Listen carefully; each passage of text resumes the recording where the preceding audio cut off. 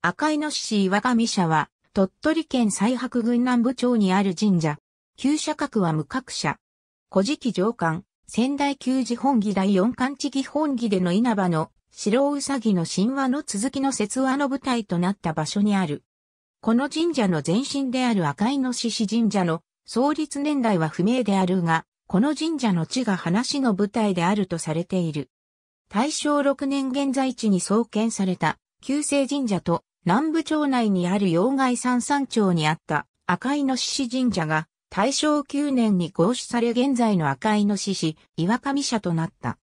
その神話のあらすじは、大名鞭の神のたくさんの兄神たちは、白うさぎの予言通り八条姫と結婚した大名鞭の神を憎み、殺してしまおうと企んで、大名鞭の神を放棄の手は山本へ連れて行った。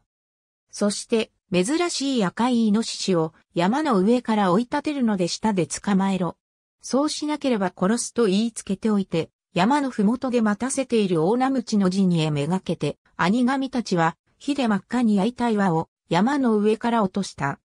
転がり落ちてくる真っ赤な岩をイノシシとして受け止めようとしたため、大名鞭の陣の体がたちまちその赤く焼けた岩肌にこびりついて焼き潰されて絶命してしまう。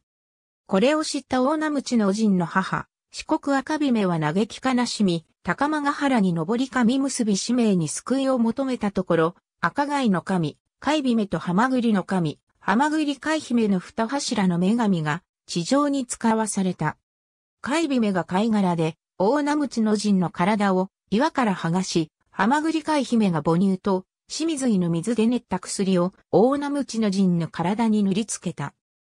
すると大名鞭の陣は大やけどがたちまち治り元の麗しい姿となって息を吹き返した。大名鞭の陣を焼き潰し殺したとされる岩が境内に祀られている。